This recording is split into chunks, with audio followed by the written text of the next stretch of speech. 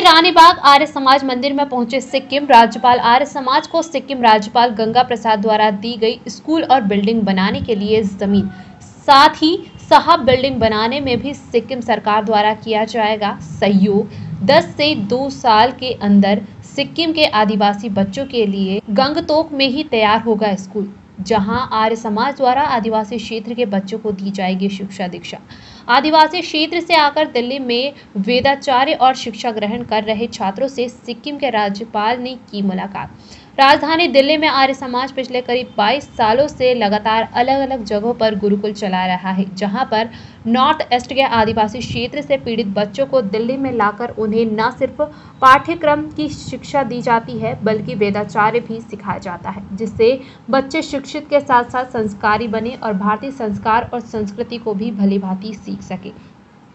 North east Bharat की बात की जाए तो सिक्किम राज्य के बच्चे भी आदिवासी क्षेत्रों से काफ़ी प्रभावित होते हैं और वहाँ शिक्षा का अभाव है। ऐसे बच्चों को ही ध्यान में रखते हुए सिक्किम के राज्यपाल गंगा प्रसाद द्वारा आर्य समाज को ज़मीन का एक हिस्सा दिया गया। जिससे सिक्किम के गंगतोक में शिक्षा के अभाव के कारण पढ़ाई लिखाई न कर पा रहे बच्चों को न सिर्फ़ शिक्षित किया जाए, बल्कि उन्हें वेदाचार्य की शिक्षा दी जाएगी। साथ ही साथ, उन बच्चों के रहने के लिए एक भवन निर्माण की गंगतोक में कराया जाएगा। आज दिल्ली के रानीबाग आर्य समाज गुरुकुल में सिक्किम के राज्यपाल गंगा प्रसाद पहुँचे, जहाँ उन्होंने नॉर्थ ईस्ट के आदिवासी प्रभावित क्षेत्र के बच्चों से भी मुलाकात की और उन्हें भविष्य को निखारने और आगे बढ़ने के लिए प्रेरित किया। आर्य समाज के पदाधिकारी जोगेंद्र खट्टर द्वारा जानकारी दी गई कि डेढ़ से दो साल के अंदर उस ज़मीन पर भवन निर्माण और स्कूल का निर्माण कार्य पूरा हो जाएगा, जिसमें सिक्किम सरकार भी उन्हें पूरी सहायता दे रही है। न सिर्फ़ ज़मीन, बल्कि भवन निर्माण कराने में भी सिक्किम सरकार का सहयोग रहेगा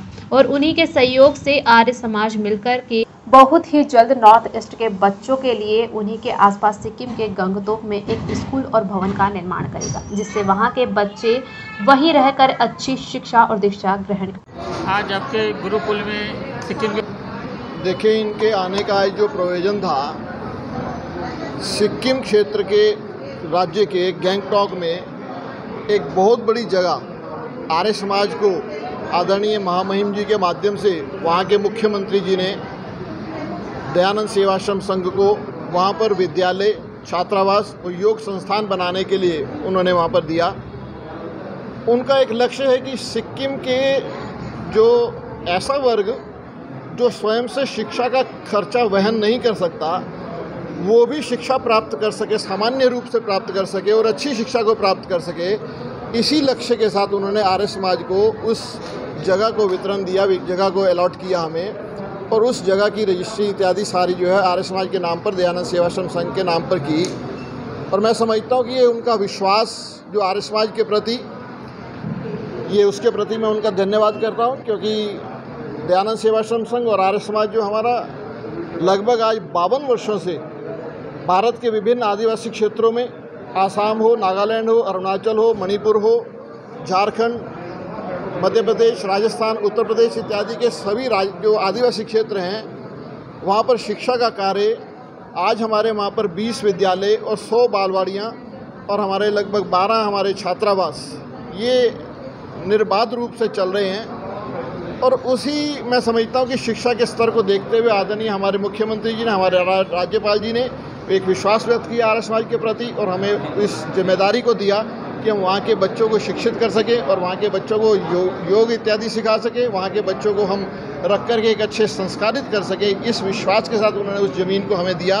और मैं समझता हूँ कि आप देख ही रहे हैं कि यहाँ पर रानीबाग आर्य समाज में भी लगभग पिछले 22 वर्षों से इस कार्य को किया जा रहा है।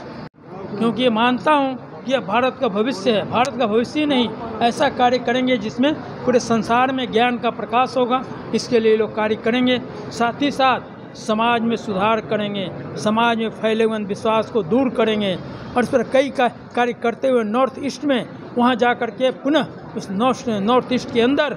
वैदिक भावना का भारतीय संस्कृति का इस प्रकार का उजागर करेंगे यह मैं आशा करता हूँ। आर्य समाज जिस तरीके से जो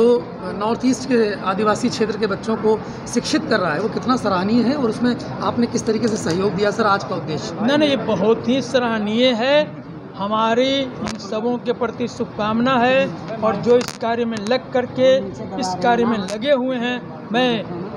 उन्हें भी बधाई देता हूँ और ये कहता हूँ कि आप बहुत पुण्य का कार्य कर रहे हैं। और साथ ही साथ नॉर्थ ईस्ट में जैसा कि पहले कहा जा चुका है कि उसके लिए भी मैं कार्य कर रहा हूँ और कई जगहों पर यहाँ आर्य समाज के लोग नॉर्थ ईस्ट कार्य कर रहे हैं और अब अभी इसमें सिक्किम के अंदर में